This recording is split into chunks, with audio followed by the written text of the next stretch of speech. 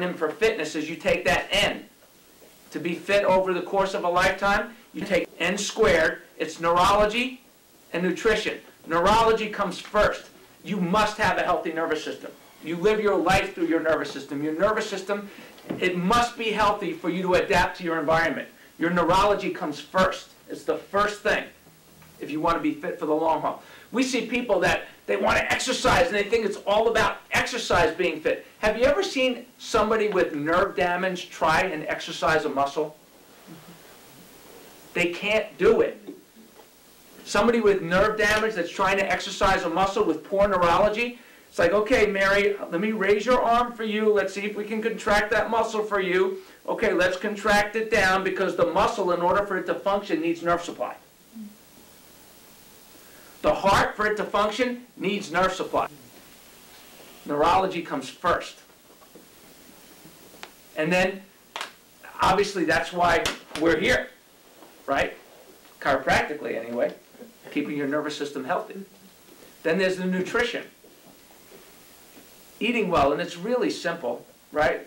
You choose quality calories over empty calories every time you're faced with a choice. QCs over ECs. It's really simple. It's not like it's rocket science.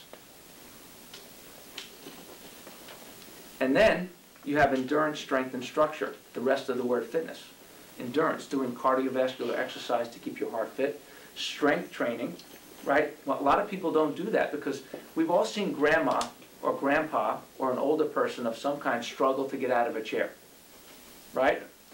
And so you can't wait until you lose your strength to get it back. You have to keep yourself strong. That's why the strength, strength and independence go hand in hand and then there's structure, right? The bookends. You have the neurology on the front end, the structure, the spine and nervous system on the back, and those two book the pillars are essential for you to have good quality of life as you age. You know, we see these older people, some of them, many of them, where they're bent over and crooked, right? How many of you have seen that? Mm-hmm. They don't get like that overnight. That's a, not an overnight event.